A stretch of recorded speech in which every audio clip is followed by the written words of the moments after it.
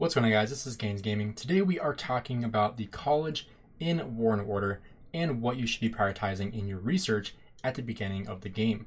So when it comes to your college, obviously you want to make sure you are continuously upgrading your college with your castle level. This is vitally important. So as you are upgrading your castle, you want to make sure you are also upgrading your college. This will not only allow your research to be done faster, but you will also unlock more research as you go on. So when we go into our college in the research, you can see there are five different categories that you can do research in. In resources, development, city defense, guardian force, and military. Now, when you unlock the college, you want to make sure you first start with architecture, physique 1, rapid march, and then getting to medical facilities, and finally to research 1. This will allow you to then upgrade research 1 to max level 10 out of 10, and then go back and then work on architecture. And the reason why you want to do that is because it will not only save you the speed ups in terms of the architecture speed that you are saving, but also it will make that development even faster. So as you're researching your architecture, you are saving time because you spend the time to go ahead and max research first. Now, as we keep on going, finishing up physique is important for free to play value when you're hitting monsters on the field because this will increase your stamina recovery by 10% as well as rapid march. This isn't as important, but this does come into play when it comes to hitting monsters. So it does increase your march speed when you are attacking monsters, but when you're using multiple marches, it doesn't matter as much. Medical facilities is very important at the beginning of the game because it increases your soldier capacity for your wounded by 7.5%. Now, this is really important because if you are in an unfriendly kingdom, you are going to get attacked at some point, and you want to make sure you can save as many troops as possible medical facilities helps make that happen. Now, on top of that, Healing 1 raises the healing speed for your wounded soldiers. So if you are having people attack your city frequently, increasing the healing speed for your wounded soldiers is very important. I have not maxed this out simply because I have not really had to. I don't get attacked often enough to make this worth it yet, but I will eventually be maxing this out. Now, tax rate is really important if you are making a farm account because this will reduce the transportation taxes, when you are sending resources to another alliance member.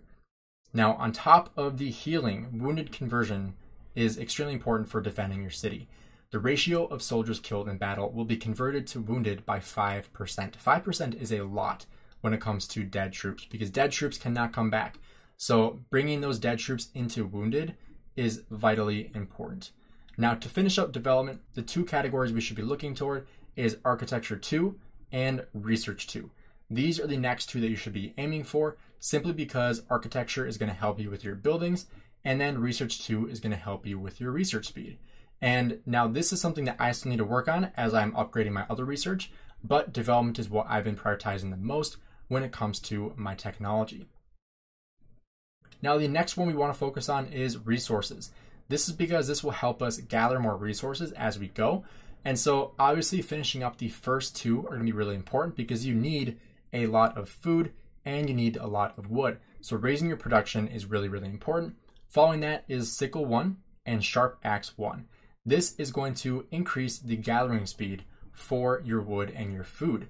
Now, as we go to load boost, this will raise your army load, not as important um, because, you know, as you upgrade your lord, you're going to be able to bring more troops anyway. But Depot 1 will raise your depot capacity, which is important. I'll go ahead and upgrade that right now as we are here um, because you know this will make sure you are keeping your resources safe. Alloy drill will raise your stone output by 20%. Pickaxe will also increase your stone gathering speed. And then spelunking will raise your gem gathering speed. Personally, I don't gather a lot of I don't gather a lot of gems. I buy gems, so I don't really have to gather that many. But as we keep on going, load boost, not super important. But working on blast furnace is important for mine production output. And then following that, working on iron gathering speed is going to be important as well. And then finally here, the next one to focus on is Depot 2. This will also increase the max depot capacity, not only with research, but also with upgrading your depot will allow you to keep more resources as you go. So if I go ahead to upgrade here, you can see this will increase the amount of protection you have for your food, stone, wood, and iron. So that's something that you should also be focusing on when it comes to working on your depot. Now, the next category, a lot of people want to say city defense, but personally, I would say military is the next most important. The reason why is because this is going to increase the stats on all of your troop types. So when it comes to, you know, focusing on hitting monsters, on rallying objectives, and also defending your city, your military is going to be really important.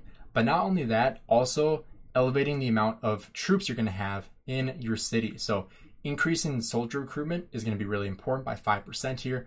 And then increasing all the attack of your troops is going to be really, really important at the beginning of the game. And raising your max soldier recruitment in with with expansion 1 will allow you to train more troops.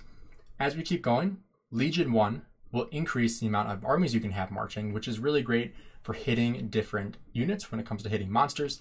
Physique is very, very important for health points because health is extremely important. Next here, you're going to focus on leadership.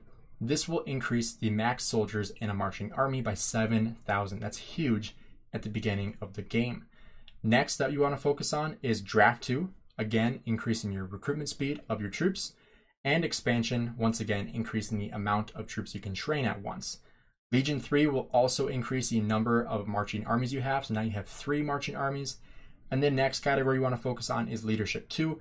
This is where I am at now, raising the max amount of soldiers in an army by an additional 700 per upgrade, so up to another 7,000. Next year's city defense is going to be the next one that we want to focus on, and that is really to focus on the golem. And so golem recruitment is going to be huge, increasing the recruitment speed. Also, increasing the max amount of golems you can have in your city is also huge. And on top of that, if we scroll all the way down, trying to get up to guard blessing, which will increase the health points in your defense, and also golem recruitment 2 will increase the buildings. And golem recruitment 2 will increase the recruitment speed for those golems. And finally here we have Guardian Force. This is the last one, mainly because angels don't come until a little bit later on. So Guardian Force isn't as important to focus on. However, it is an important aspect of the game where you want to make sure you have angels in your city. This is where you have troops that have died that can come back as angels, which is important for defending your city and you can also increase the number of angels you can recruit at once. So if I go ahead and go up to the angel recruitment, the guardian temple, you can see right here, this is where you can recruit different angels. Um, so as you upgrade them, you can get higher levels as you upgrade your guardian temple. So that's one aspect that you also want to focus on.